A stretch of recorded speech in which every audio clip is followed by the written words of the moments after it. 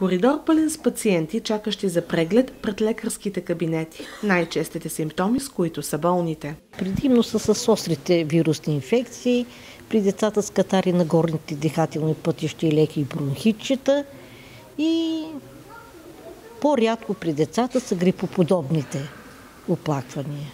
Само за 3 часа днес през кабинета на доктор Йончева са преминали 16 пациенти с подобни симптоми. Въпреки оплакванията на хората, Враца не е сред областите, които са с обявена грипна епидемия или в предепидемична обстановка. Защо?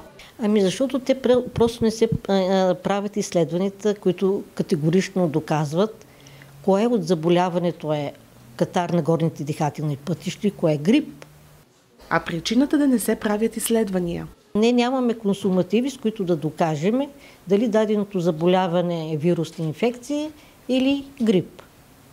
По данни на регионалната здравна инспекция във Враца през изминалата седмица в региона са регистрирани 56 случая на 10 000 души. Спрямо периода от 7 до 11 януари дори е отчетен спад. В същото време реално напливът на пациенти се увеличава. Обяснението на здравната инспекция за разминаването. Значи обяснението ми е, че не се отчитат както трябва, не се отчитат коректно. На тях това има задължение да докладват всека сутрин. Тази информация трябва да бъде подавана от лекарите, само че... При нас никой не е искал подобно сведение. Мнението на пациентите. Няма нали болни. А като дойдех, не мога да се доредиме до кабинета. Просто информацията не е правилна. Това мога да кажа.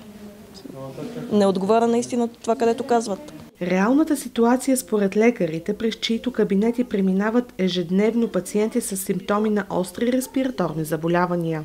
Аз мятам, че ситуацията е почти критична в момента и по-добре да се обяви грипна епидемия, а не да има тежко болни деца, да не казва с какъв случай и не чак тогава да се сетим, че има грип.